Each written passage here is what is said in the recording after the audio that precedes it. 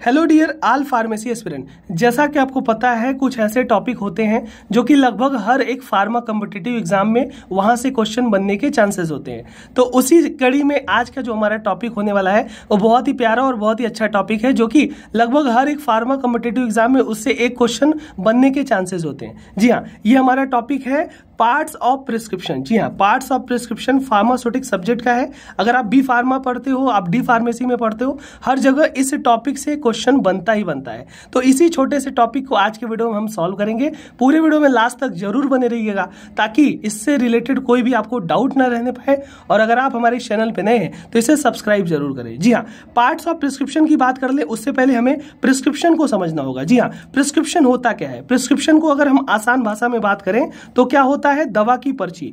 दवा की पर्ची मतलब क्या होता है? एक ऐसा रिटर्न ऑर्डर होता है। जी हाँ प्रिस्क्रिप्शन एक ऐसा रिटर्न ऑर्डर होता है जो कि किसके द्वारा लिखा जाता है? रजिस्टर्ड मेडिकल प्रैक्टिशनर आरएमपी के द्वारा लिखा जाता है और आरएमपी पेशेंट के लिए जो प्रिस्क्रिप्शन लिखता है, उसमें डायरेक्शन देता है फार्मासिस्ट को। जी हाँ प्रिस्क्रिप्शन एक रिटर्न ऑर्डर है जो कि फार्मासिस्ट को डायरेक्शन देगा कि कैसे कंपाउंड करना है, कैसे डिस्पेंस करना है और उस कंपाउंडिंग डिस्पेंसिंग के बाद पेशेंट को कैसे दवा समझा करके देनी है।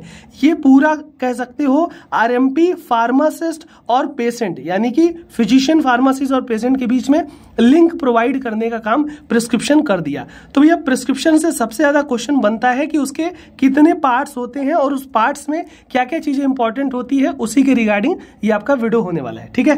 तो सबसे पहले अगर हम बात करते हैं प्रिस्क्रिप्शन के पार्ट की तो टोटल आप याद कर लो ना आठ पार्ट होते हैं प्रिस्क्रिप्शन में। कितने होंगे? आठ पार्ट होते हैं। अब इन सभी आठों पार्ट को समझेंगे, होते क्या है और उसके अंतर्गत क्या क्या चीज़ें होती है, उसको भी क्लियर करेंगे। सबसे पहले आप टिपिकल कोई भी दवा की पर्ची होगी तो वहाँ पर आप क्या देखोगे? वो जो आपका हॉस्पिटल आपके क्लिनिक होता है, उसका नाम होता है सिंपली ये तो है ही है। उसके बाद सबसे पहला पार्ट सबसे पहला पार्ट प्रिस्क्रिप्शन में क्या होगा? डेट जी हाँ किस डेट का प्रिस्क्रिप्शन है? मरीज़ किस दिन परामर्श लेने आया है? ये डेट उसको रिप्रेजेंट करता है। इससे एक सिस्टमेटिक ऑर्डर बनाने के लिए हेल्प मिलती है और मरीज़ किस किस दिन कह सकते हो, उसको डॉक्टर को परामर्श लिया है, उससे पता चलता है। तो पहला पार्ट है डेट है ना? सबसे पहले आठ पार्ट देख लेंगे, फिर एक एक करके क्लियर करते हैं। तो सबसे पहले है डेट दूसरा होगा नेम एज सेक्स या gender and address of patient ठीक है? पहला डेट हुआ, दूसरा name age sex and gender address of the patient तीसरा होगा आर एक्स जिसे हम क्या बोलते हैं? सुपर स्क्रिप्शन ठीक है? उसके बाद चौथा पार्ट क्या होगा? इनस्क्रिप्शन पांचवा पार्ट होगा सब स्क्रिप्शन छठा पार्ट होगा सिग्नेचरा सातवां पार्ट होगा रीफिल इंस्ट्रक्शन और लास्ट में आएगा जो प्रिस्क्राइबर होगा, उसका नाम, उसका रजिस्ट्रेशन नंबर और उसकी साइन तो टोटल ये आठ पार्ट आपके प्रिस्क्रिप्शन के अंतर्गत देखने को मिलते हैं।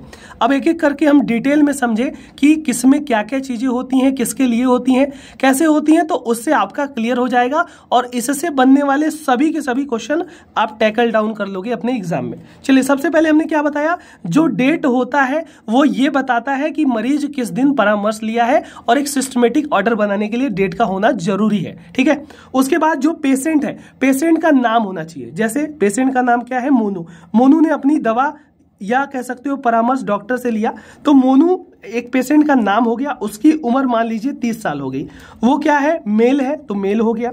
एड्रेस क्या है? एड्रेस जैसे अगर मान लिया जाए तो उसका क्या है? उत्तर प्रदेश। जी हाँ उत्तर प्रदेश के जो भी आपका गाँव है या जो भी है, वो यहाँ पे लिखी जाती है। साथ ही साथ बहुत सी जगह आपका पेशेंट का वेट भी लिखा जाता है और ब्लड प्रेशर वगैरह भी यहाँ पे लिखा जाता है। तो वो एडिशनल है, उसको भी आप देख सकते हो। इन्हीं सारी यानी कि पेशेंट के डिटेल के अंतर्गत आ जाएगी।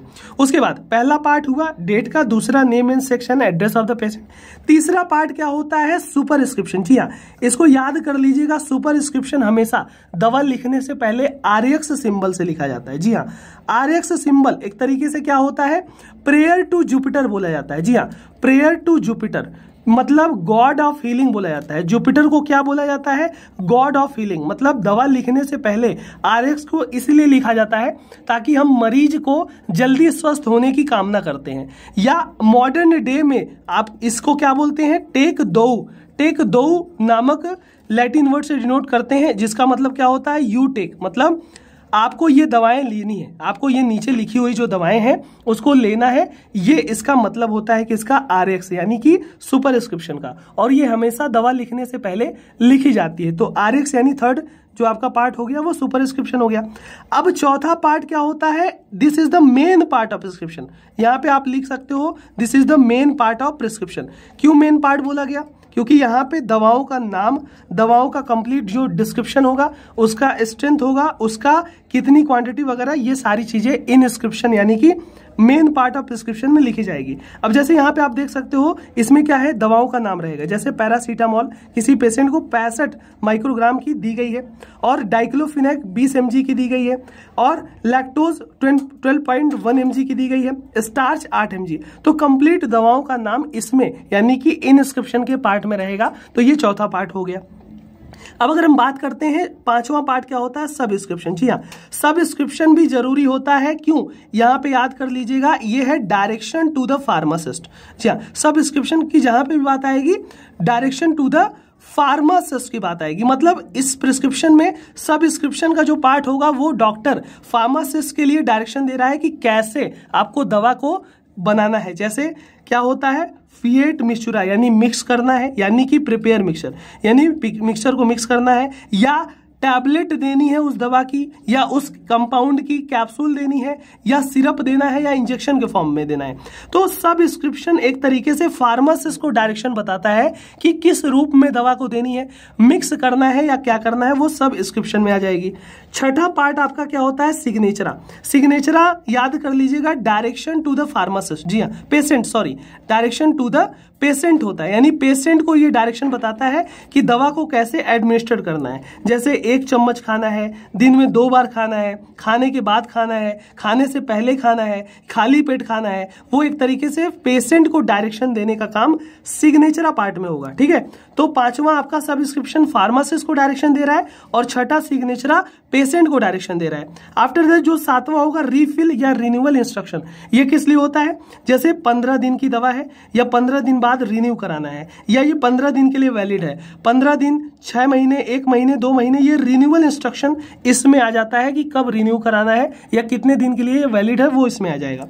उसके बाद लास्ट पार्ट जो है प्रिस्क्रिप्शन का, जिसमें जो आरएमपी होगा फिजिशियन होगा डॉक्टर होगा, उसका नाम रहेगा या उसका साइन रहेगा, उसका रजिस्ट्रेशन नंबर और उसकी मोहर वगैरह जो रहती है। आजकल तो जो आपका नर्सिंग होम या हॉस्पिटल होता है, उसका नाम ऊपर ही रहता है। बाकी नीचे भी डॉक्टर की साइन वगैरह रहती है। तो टोटल यहाँ पे देख सकते हो प्रिस्क्रिप्शन के पार्ट में आठ पार्ट होंगे। पहला डेट दूसरा name age sex and address of the patient तीसरा आर यानी कि सुपरस्क्रिप्शन जो कि prayer to Jupiter god of feeling या कह सकते हो टेक दो, जिसे हम यू टेक भी बोल सकते हैं।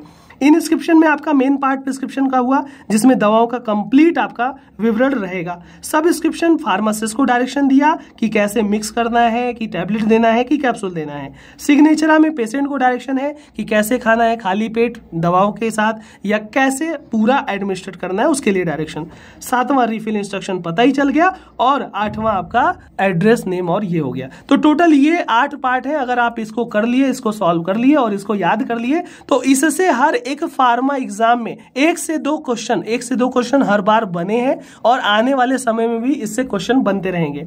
तो ये टॉपिक आज आपका क्लियर होता है। इसी तरीके से ढेर सारे टॉपिक के वीडियोस देखने के लिए चैनल पे विज़िट कीजिएगा। प्लेलिस्ट वगैरह को विज़िट कीजिएगा। नए हो तो इसे सब्सक्राइब ज़रूर कीजिएगा। और भी आपके जो भी रिस्पॉन्स है, जो कमेंट्स हैं, उसको भी कमेंट बॉक्स में ज़रूर बताइएगा। बुक्स वगैरह मंगाने के लिए डिस्क्रिप्शन बॉक्स भी चेक कीजिए। मिलते हैं किसी अगले वीडियो में, किसी अगले टॉपिक के साथ। तब तक के लिए thank you so much all the very best